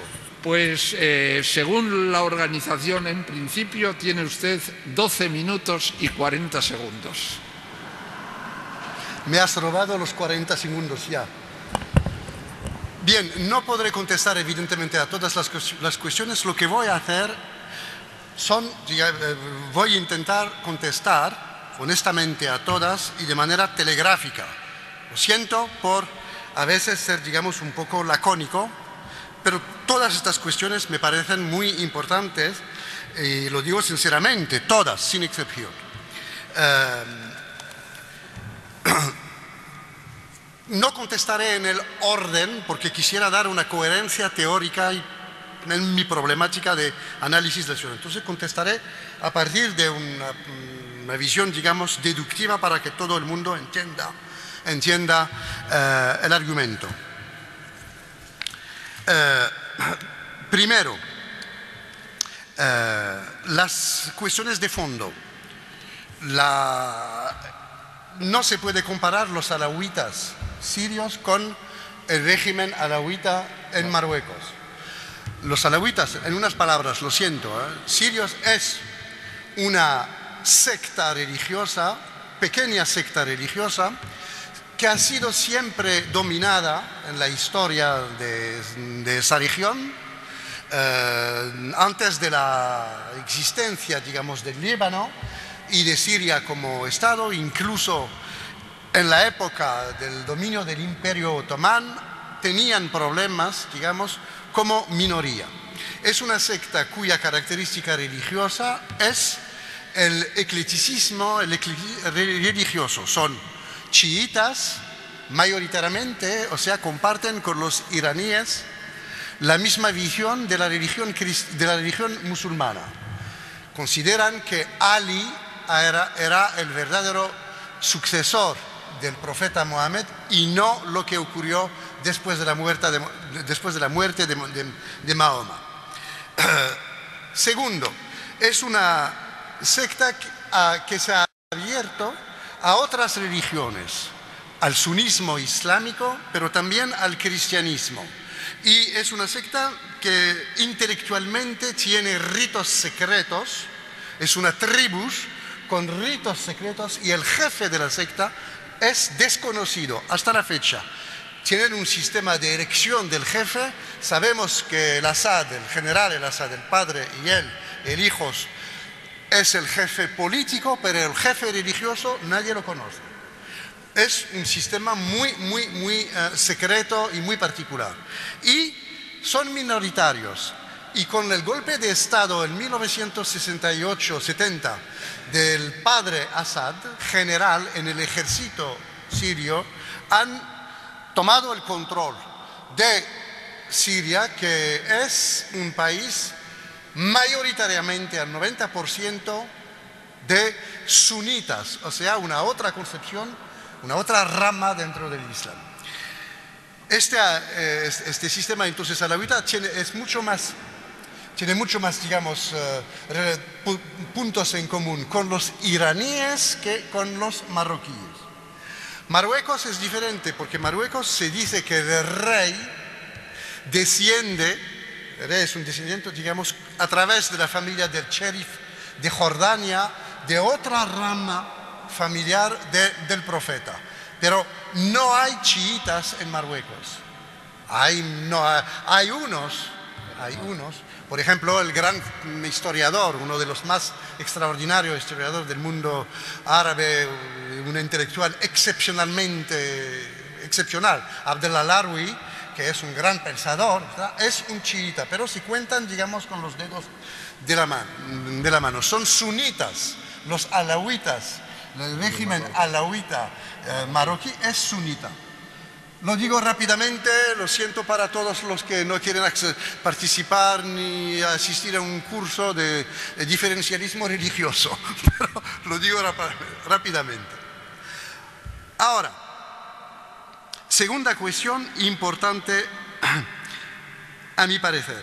Eh, la situación en... Eh, yo nunca he dicho, nunca, salvo si eh, soy salvo si soy eh, ventriloco, pero nunca he dicho que la democracia en Argelia funciona bien. Nunca. Yo considero que el régimen argelino... me, he debido, equivocar yo. Eh, quería decir en Túnez. Perdón, ah. perdón. Eh, he debido cometer yo el error. O sea, lo de la burka y eso, usted había hecho un elogio de la democracia en Túnez. Sí. Yo he debido decir Argelia. Y yo creo que la democracia... Es Túnez. sí, sí. Bueno, yo creo que la democracia existe en Túnez pero precisamente por ser una democracia está siempre en peligro y hay siempre luchas. Y eso es lo que define la democracia. La democracia no es un sistema en el que tenemos todo y hay que dejar las cosas. Van a experimentar lo que es la democracia. Van a experimentar que la democracia es una batalla permanente. Tanto como hoy en día en España los despedidos de su empleo, los excluidos y los que tienen que experimentar a través del sistema democrático la defensa de sus intereses. Y si quieren defender sus intereses, tienen que movilizarse. Eso es absolutamente esencial. La historia de esa sociedad no depende de una trascendencia ni de una, digamos, eh, de un regalo de Dios, depende de lo que la, gente puede imponer y hace de su vida. La democracia es un sistema siempre en peligro, una batalla permanente para la igualdad y para la justicia. Y efectivamente, tanto en Túnez como en Egipto, como en todos los países, siempre habrá movimientos reaccionarios, movimientos conservadores, movimientos antidemocráticos, siempre. Y tendrán que luchar. Eso es nuestra condición común. Nosotros en Francia tenemos que luchar de manera permanente en contra de Le Pen, en contra de la extrema derecha, xenófoba, nacionalista, lo que no significa que la democracia no existe en, en Francia. Sistema democrático es un sistema, digamos, de lucha permanente. Eh, otra cuestión, y me parece que es eh, eh, una cuestión importante, efectivamente, en el régimen precedente, en Túnez, en este caso, había respecto, a las minorías, había una actitud policíaca muy dura en contra de los islamistas y en contra eh, de los que intentaban utilizar la, de los que intentaban utilizar, perdón, de los que intentaban utilizar, digamos, su posición dominante para oprimir a las minorías, actualmente la situación no ha cambiado, se ha vuelto diferente. Y eso esa cuestión me permite desarrollar otro elemento que no he podido y no podía explicar todo. Tenemos que entender que la democracia ha permitido que todo, absolutamente todo lo que ha sido tapado durante siglos y sobre todo desde la independencia, absolutamente todo salga a la superficie de la sociedad. Ahora todos claramente saben quién son los salafistas, que hay un movimiento salafista neofascista importante, saben que hay minorías religiosas, saben que hay etnias. En Túnez, por ejemplo, hay, y no quiero entrar en los una batalla terrible en el sur, de en el sur del país, en la región de Gafsa, entre tribus que se compartían bajo el dominio de Ben Ali, que se compartían los puestos en una de las más importantes empresas del país una, empresas de, de, de, mina, de, minas, Y se, se compartían el trabajo según un equilibrio tribal. Ahora con la democracia los que no pertenecen a esas tribus dicen, pero nosotros también queremos trabajar ahí. Ellos trabajan porque pertenecen a nuestras tribus. Y hemos visto unas batallas tribales muy importantes entre ellos. Tribales. El tribalismo era escondido, ahora está ahí y tenéis que verlo y tenéis que afrontarlo. Yo prefiero en Francia un movimiento lipenista organizado en partido político y lo veo y sé dónde está y lo escucho, que tener un partido lipenista escondido y que mata a la gente como hacían en los años 70, que organizaba terrorismo y mataba a los inmigrantes en la calle, asesinando a la gente. Yo prefiero. Y es está exactamente lo que está ocurriendo. El Islam, si quieren solucionar el problema del Islam, problema, digamos, de la, de la relación entre la religión y el Estado, el Estado, la única manera de solucionar es una solución democrática. No podemos solucionar ese problema con las armas. Lo intentó en Turquía. En Turquía, uh, uh, Mustafa Kemal Atatürk, en, 1923, ha impuesto un régimen laico por la fuerza, mira lo que es eh, la situación en Turquía ahora. El gobierno es un gobierno islamista. Por la fuerza no se puede solucionar los problemas. No es una buena solución. Toda la experiencia lo demuestra. Absolutamente toda la historia de la humanidad. La única manera de solucionar los problemas es ponerlos sobre la masa, sobre la mesa y hablar de estos problemas y no imponer por la fuerza una orientación. Y eso es el sistema, es la democracia. Ahora, evidentemente tendrán que afrontar muchos problemas. En Argelia, en Marruecos, no en Túnez porque casi no existen, pero en, Egipto, en Siria tendrán que afrontar el problema de los bereberes, de los derechos, y es, la única solución será una solución democrática y no impuesta el problema del respecto a la existencia de 10 millones de cristianos en Egipto, mismos derechos, cristianos en, eh, en, en, Siria, etc. Más vale resolver estos problemas, por lo menos se puede hablar ahora de estos problemas. Antes, cuando se hablaba de estos problemas, les acusaban de traidores a la nación o de querer fomentar aprovecho a beneficio de los estados occidentales luchas internas en contra de la idea de una nación homogénea, una nación perfecta. Más vale, y es la democracia, es lo que está ocurriendo. Otro problema importante, el papel de las mujeres. Sí, han tenido un papel clave, sobre todo en Túnez. Y han tenido ese papel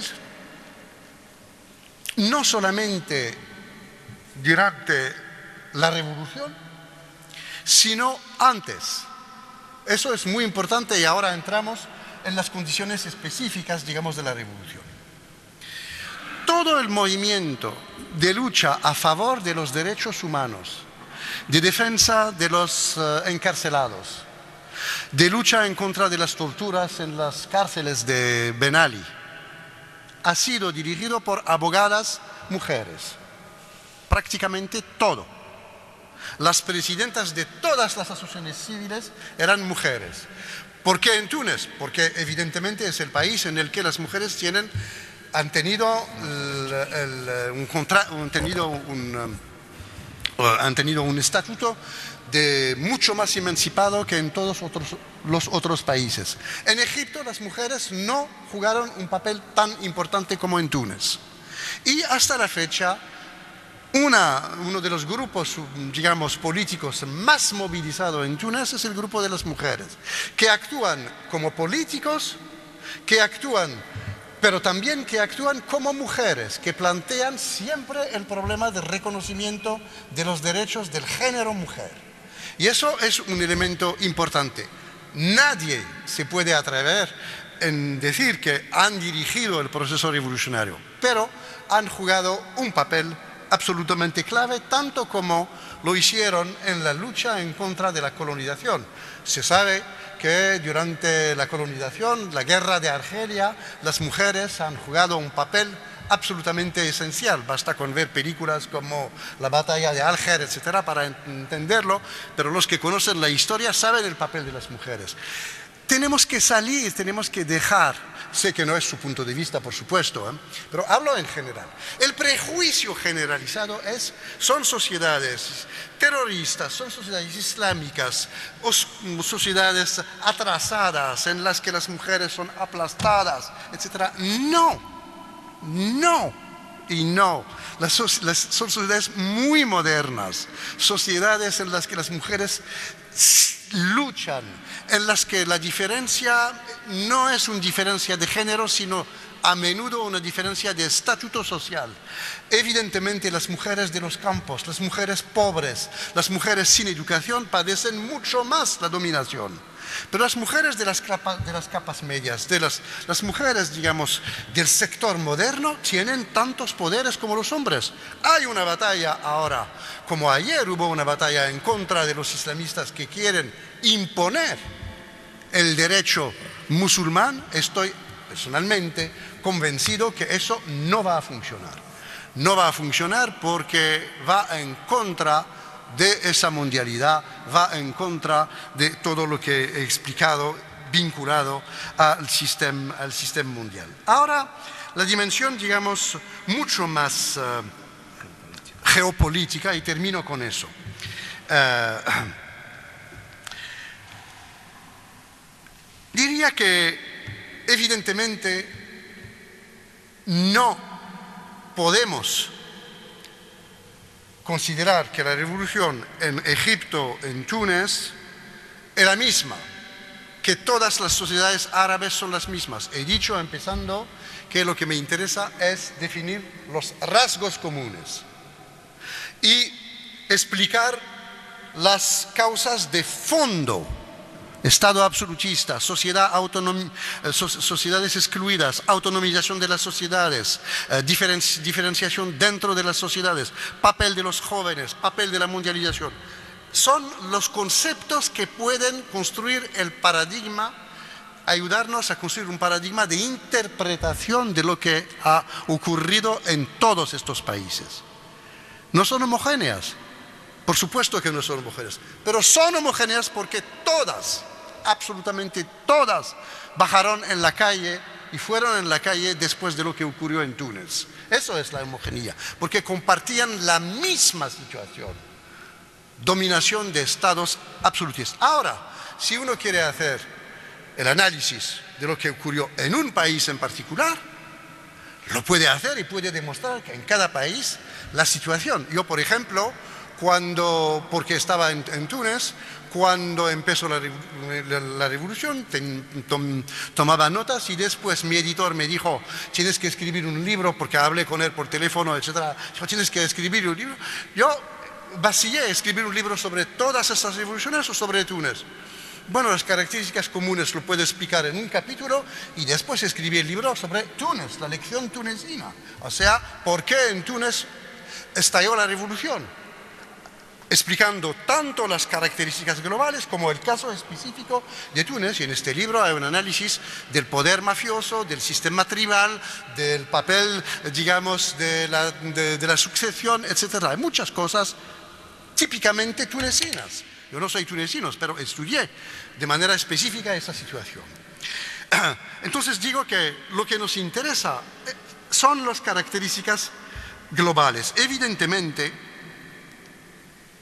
en países como Libia o como, digamos, Siria, las condiciones son totalmente diferentes de Túnez o de Marruecos o de eh, Egipto.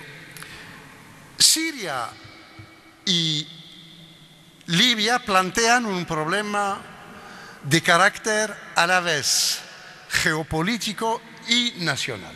El carácter nacional es una guerra civil provocada por los poderes, o sea, por el régimen de Assad y de Gaddafi, en contra de una demanda democrática de la sociedad.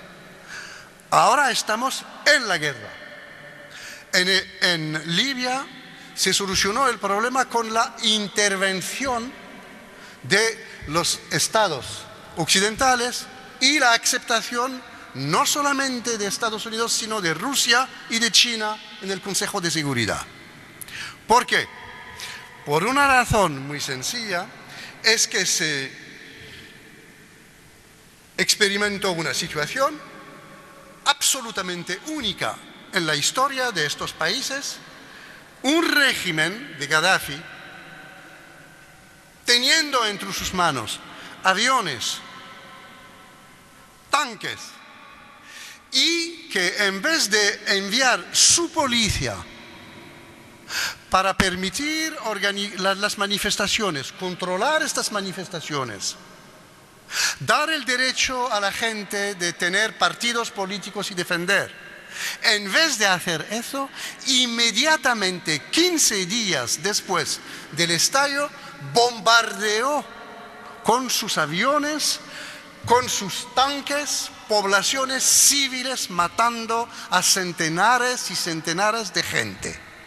La conciencia mundial frente a esa cosa increíble, un Estado, un jefe de Estado, lo que está haciendo ahora Assad, utilizando su aviación para bombardear su pueblo, la conciencia civil mundial dijo, eso es impensable el argumento geopolítico ha sido prácticamente desplazado en un argumento, en una decisión moral.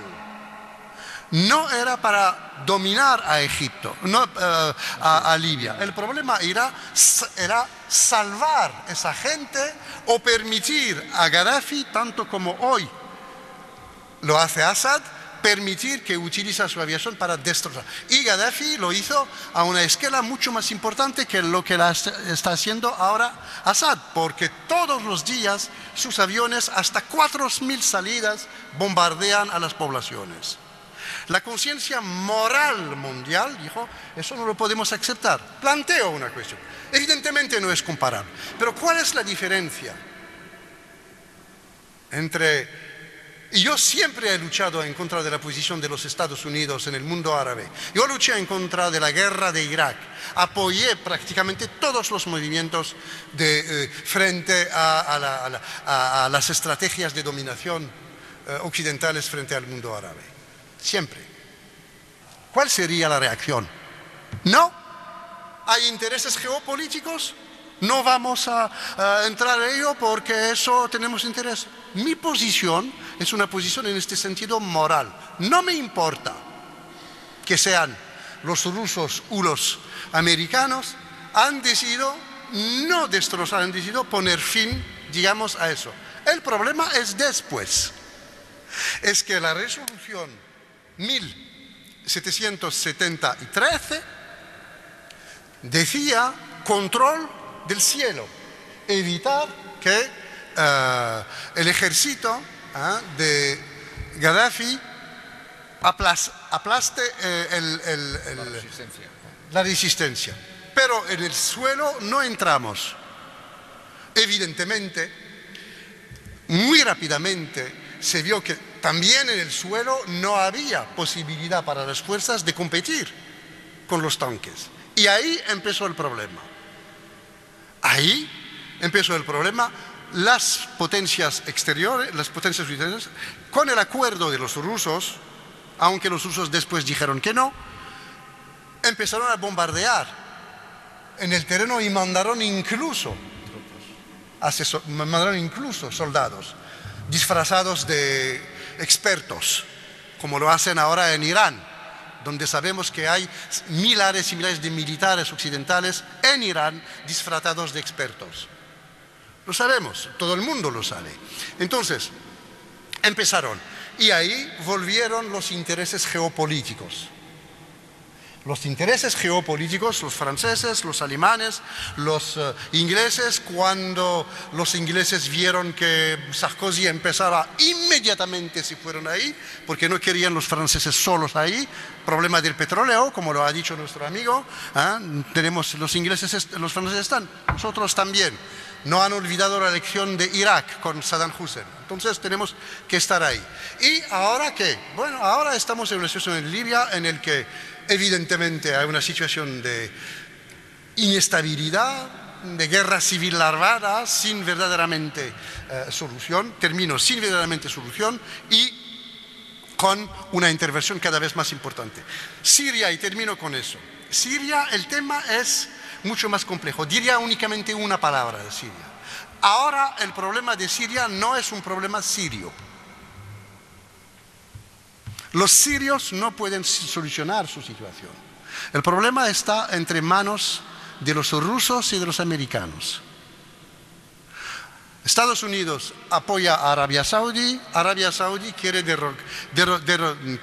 quiere acabar con el régimen sirio y quiere acabar con el régimen sirio no porque defiende, como le dice, a los sunitas, sino porque el régimen sirio es aliado de Irán, el único aliado de Irán y sabe que si derroca ese poder, Irán se, va a debilitar. Los rusos no quieren un debilitamiento de Irán y no quieren un debilitamiento también de su único aliado en la región, Siria. Es, tienen ahí, es el único país en el que en el que la flota rusa pueda ir hay un puerto ruso que es un puerto sirio que es casi un puerto ruso. Entonces ahí vemos los intereses geopolíticos.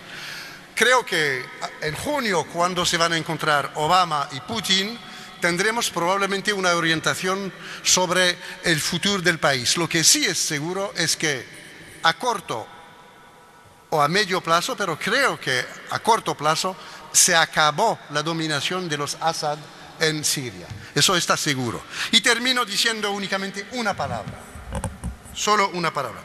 Eh, me, excuso, evidentemente me, me disculpo por no haber podido contestar a todas las cuestiones, pero me ha gustado muchísimo, muchísimo lo de Rousseau y lo de la geopolítica. Ojalá, ojalá que la política se transforme en discusiones en torno de las magníficas ideas de Rousseau y no de los intereses sordidos, cínicos de los estados. Todos somos conscientes de que ahí se está jugando una partida muy compleja, pero recuerdo solo una cosa. Sí Israel, sí el petróleo, sí, pero ni Israel, ni el petróleo ni Israel ni el petróleo explican lo que ha ocurrido. Porque la revolución ocurrió en dos países. Túnez, que no tiene petróleo y que es casi un aliado de Israel. Se ha demostrado ahora que Ben Ali trabajaba con los servicios secretos y tenía relaciones muy estrechas con los servicios secretos israelíes y Egipto, que era el principal aliado de Israel en el mundo árabe. Los israelíes, tanto como los europeos, fueron sorprendidos y durante meses no sabían qué decir. Entonces, el problema estratégico es un problema de largo, digamos, alcance, es un problema de muy, muy, muy importante entre Israel y el mundo árabe, pero esas revoluciones han demostrado que más allá de estos problemas, lo que cuenta para la gente en todos estos países, tanto como para nosotros aquí, es poder crear condiciones de vidas dignas, dignas en las que nuestras diferencias, nuestros intereses diferentes puedan institucionalizarse y solucionarse a través del diálogo, a través de la competición política y no bajo el reino de poderes dictatoriales. Muchísimas gracias.